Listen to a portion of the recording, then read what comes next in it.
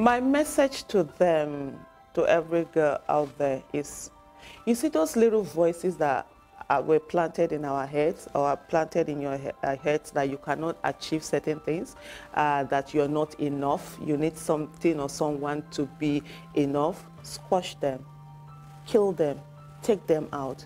You're whole as you are. You are enough just the way you are. And dear, dare, shatter the glass ceilings, keep daring, don't hold yourself back.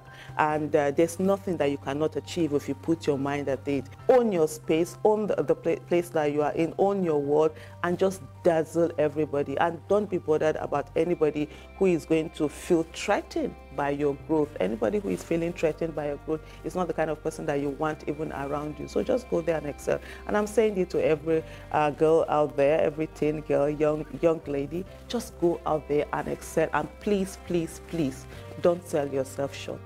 What inspired you into activism and what does it mean to you? Uh, so for me, uh, I've always been vocal. Even as a little kid, I've always been vocal. I've hated injustice. And whenever there's something, I will speak up. In terms of like the girls, most times it's just, you're just seen as uh, as an opportunity for the family to make money. They marry you off early. Uh, the husband is going to be bring dowry, probably will be taking care of, all this, a lesser amount uh, to feed. And then you, you're just restricted to one place, work in the house, do work, do housework, uh, do the cooking and all of that. You don't get to have experience uh, the same uh, level playing field that the male, your, your brothers sort of like go through. And it's still, it's still more or less the same way. There's a bit of improvement, yeah, but there's not as much uh, as, as there should be. Being a prominent figure when, when it comes to fighting for human rights, I mean, you've, you know, been in the forefront from Bring Back Our Girls to EndSARS. And I wonder, how do you do it? When people ask me that question, I always think, how do you not do it?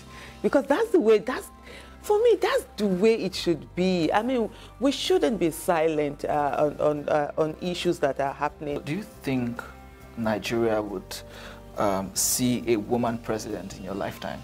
Yeah, if Nigeria has sense, they will, absolutely. That's, that's the, only, the only reason that has stopped Nigeria from having uh, women in, in, in position, whether president, governor, in all of this, is that they haven't gotten the sense. The day they get sense, we, we will have uh, a female in there.